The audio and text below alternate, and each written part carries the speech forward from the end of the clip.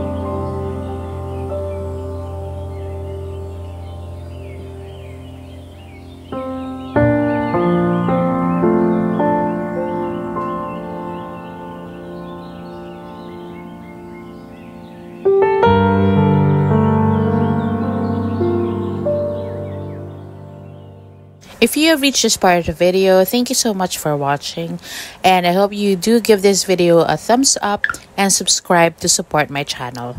Which among the inks that I have swatched is your favorite? Comment down below and let me know. Again, this is LaLune Bunny. Thank you for watching and joining me for today. Have a creative and happy day. Bye!